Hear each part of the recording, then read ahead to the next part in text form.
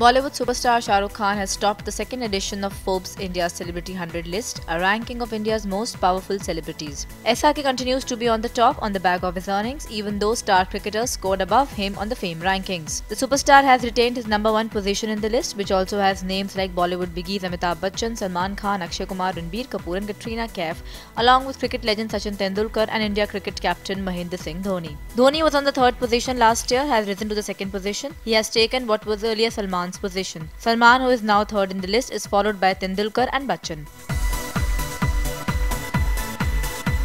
Kareena Kapoor and Virendra Sehwag have been pushed down from the top 10 this time, making way for Ranbir and Hrithik Roshan. IANS report.